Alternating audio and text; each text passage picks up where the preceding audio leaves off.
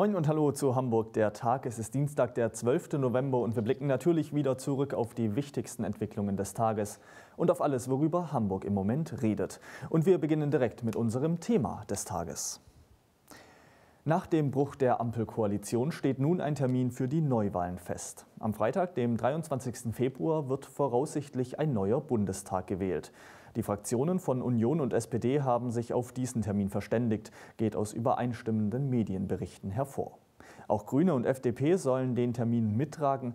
Bundeskanzler Olaf Scholz will offenbar am 16. Dezember die Vertrauensfrage im Bundestag stellen. Der Termin für die Bundestagswahl ist damit genau eine Woche vor den in Hamburg anstehenden Bürgerschaftswahlen.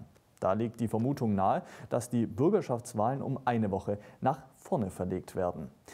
Dem hat Senatssprecher Marcel Schweitzer nun in der Landespressekonferenz mehr oder weniger eine Absage erteilt. Die Wahl der hamburgischen Bürgerschaft soll nicht zugunsten der Bundestagswahl verschoben werden.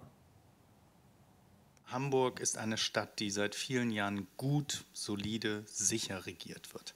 Es gibt in Berlin eine komplett andere Situation seit einigen Tagen, die sehr viel Unruhe bedeutet.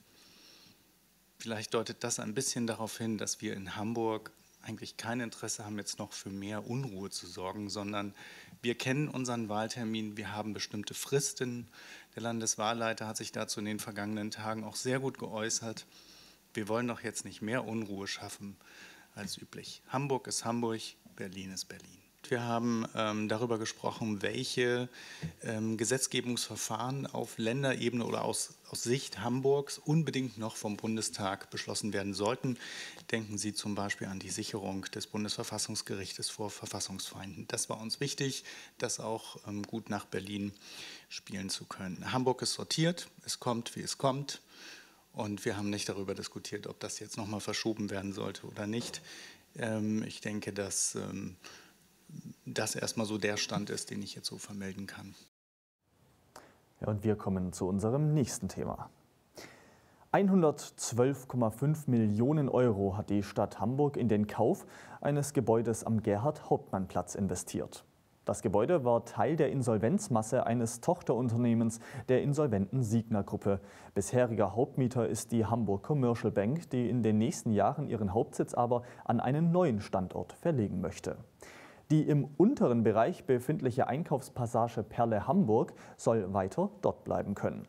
Die frei werdenden Flächen will die Stadt künftig selbst nutzen. Wie genau, das steht zwar zum jetzigen Zeitpunkt noch nicht fest, doch nun soll geprüft werden, ob dort möglicherweise das schon seit langem angekündigte Haus der digitalen Welt entstehen könnte. Also in der Tat freuen wir uns sehr, dass wir die Gelegenheit haben, jetzt an einem konkreten Standort Überlegungen weiter voranzutreiben und zu vertiefen, die wir sagen, seit fünf Jahren im Prinzip ja schon miteinander bewegen. Sie wissen alle, dass wir vor ziemlich genau fünf Jahren angekündigt haben, dass wir ein Haus der digitalen Welt in Hamburg errichten wollen, dass wir einen Ort schaffen wollen, der über das, was äh, die Bücherhallen in ihrer Zentralbibliothek am Hühnerposten entwickelt haben, also wirklich einen Begegnungsraum zu schaffen, der Hunderttausende pro Jahr anzieht, die sich dort aufhalten, die eben nicht nur reingehen und sich mal ein Buch ausleihen, sondern tatsächlich das wirklich zu einem dritten Ort machen, der sich mit Leben füllt und wirklich zu einem öffentlichen Begegnungsraum wird. Das nochmal konzeptionell von Grund auf neu zu denken, erweitert zu denken, die Volkshochschule mit hinzuzunehmen als Partner, das sozusagen Jugend- und äh, Schulinformationszentrum der Schulbehörde mit hinzuzunehmen, Partnerinnen und Partner aus der universitären Informatik mit hinzuzunehmen und tatsächlich einen Ort zu entwickeln und zu schaffen, an dem wir sagen, das ist ein Begegnungs-, Informations- und Kommunikationsraum für die gesamte Stadtgesellschaft, der sich in hochzentraler innerstädtischer Lage befindet und insofern tatsächlich wirklich so etwas wie einen öffentlichen Begegnungsraum, wir haben ja vom Wohnzimmer der Stadt gesprochen, das sich dort entwickeln könnte, neu schaffen sollte. Ja, und damit kommen wir noch zu weiteren Meldungen aus unserer Stadt im Nachrichtenüberblick.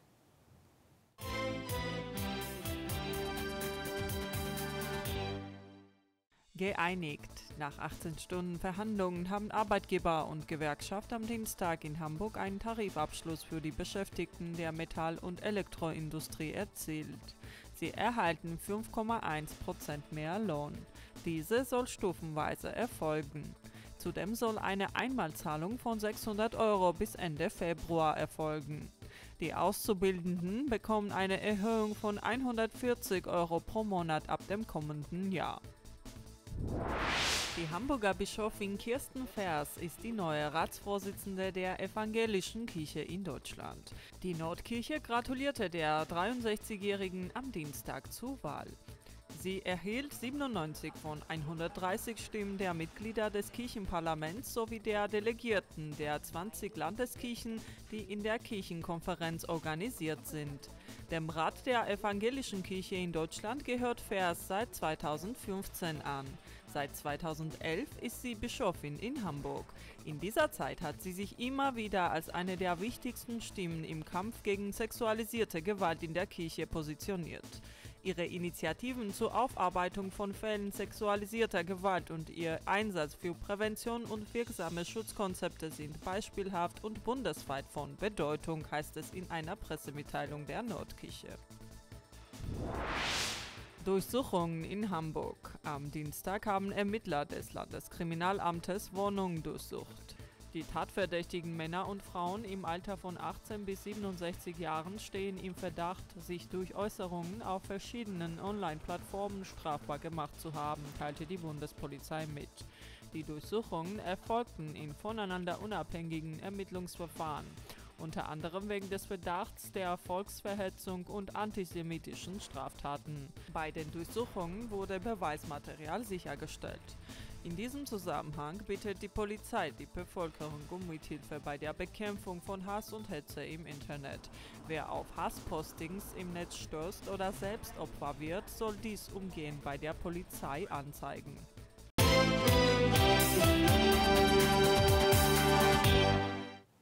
Ja, und damit kommen wir noch zum Sport. Der Curling Club Hamburg hat am Wochenende die 76. Ausgabe des Hafen Hamburg Pokals ausgetragen, und zwar bei sich in der Curlinghalle in Stellingen. Wie das abgelaufen ist und was das Besondere an diesem Pokal ist, hat sich Kevin Kaschner für uns angeschaut. Die Halle des Curling Clubs Hamburg ist eine der einzigen beiden reinen Curlinghallen Deutschlands.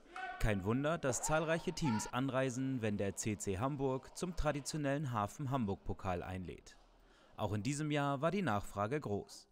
Organisatorin Sabine Bellkofer-Krönert, die 2002 bei den Olympischen Spielen in Salt Lake City mit dem deutschen Team Platz 5 belegte, zeigte sich von der Ausrichtung begeistert. Auch wenn das Turnier mittlerweile etwas kleiner ist. Wir haben das irgendwann mal reduziert. Wir haben sonst immer 32 Teams gehabt. Da ist aber eben dieser Organisationsaufwand enorm hoch und wir haben gesagt, wir wollen es ein bisschen gemütlicher machen. Deshalb 24 hatten dies Jahr tatsächlich nur vier Nationen. Das ist für uns eigentlich relativ wenig, dafür aber eine riesen Schweizer Brigade mit acht Mannschaften. Die Stimmung in der Halle war derweil ungemindert groß. Vielleicht auch, weil mit dem Team des CC Hamburgs und den Glashoch Rangers zwei Top-Teams im Finale standen und sich ein enges Match lieferten. Bis zum letzten Durchgang stand die Partie auf der Kippe. Aber nicht nur das spielerische Geschehen ist beim Hafen Hamburg Pokal einzigartig. Denn das Turnier wird noch richtig traditionell ausgerichtet.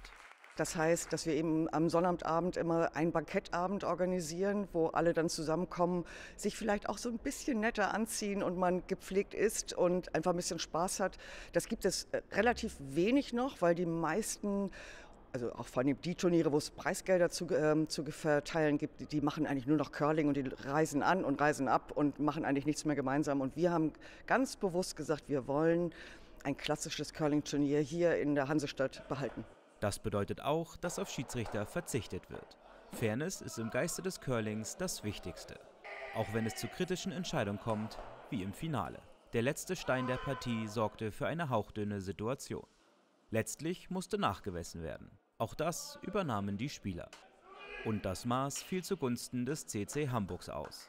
So gewann das Team um Skip Felix Schulze das traditionelle Turnier und lud, wie die Tradition es so möchte, die Zweitplatzierten im Anschluss zum Getränk ein. Der Geldgewinn wurde an die Jugendarbeit des Vereins gespendet. Der Name der Sieger wird in Kürze auf dem Rahmen des Bildes im Clubheim eingraviert. Und schon jetzt freuen sich alle auf ein Wiedersehen im kommenden Jahr. Beendet wurde das Turnier übrigens mit einer weiteren Tradition, der Indoor-Version eines Feuerwerkes.